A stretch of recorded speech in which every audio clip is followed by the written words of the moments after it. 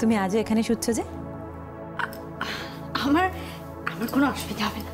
কাকন তোমার অসুবিধার কথা তো হচ্ছে না।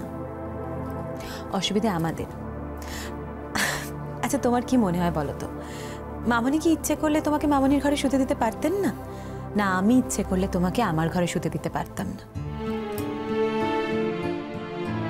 বলো। কাকু আমরা চাই তুমি জীবনের কঠিন লড়াইগুলো এক এক করে জয় করে নাও। আর তাই আমরা চাই তুমি আমাদের কথা শুনে চলো। পুপুলের ঘরে শোবে চলো।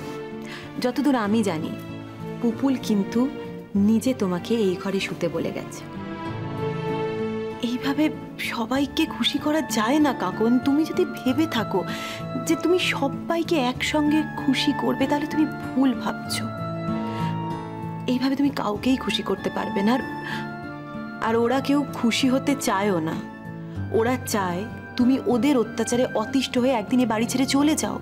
আজকে বিকেলে তোমার সঙ্গে যা যা হচ্ছিল সেগুলো তো অমানসিক। তুমি সব জেনে বুঝে এত কিছু মেনে নিচ্ছই বা কেন? আমি এবারে সবাইকে কথা দিয়েছিলাম দিদি ভাই আমি ওদের শর্তে রাজি হয়েই এ বাড়িতে থাকার অনুমতি পেয়েছি। আর অনুমতি পেয়ে যাবার পরেই বদলে যাব।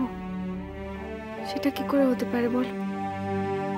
জানো দিদি ভাই আমার বাবা বলতেন, যে মানুষের কথার দাম নেই, সে নাকি মানুষই নয়।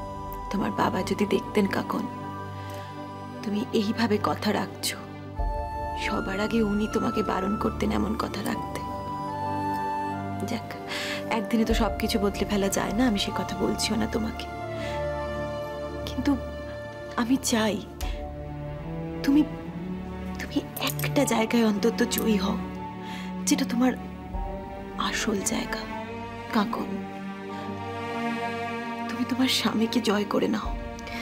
উনিও আমার উপর খুব বিরক্ত দিদি ভাই উনি চাননি আমি এই বাড়িতে আসি। আমি তো জোর করেই উনি আসলে খানিকটা বাধ্য হয়েই আমাকে এই বাড়িতে উনি আসলে আমার মা কাকিমার কথা অমান্য করতে পারেনি তো? তাই আমাকে সঙ্গে করে, কিন্তু বউ বলে নয়। কাজের লোক হিসেবে। আমার ভাই এবারে সববার থেকে আলাদা কাকন। তবুও যদি আমার ভাই এরকমটা করে থাকে, তাহলে তাহলে বুঝতে হবে ওর মনের মধ্যে কোথাও অভিমান রয়েছে।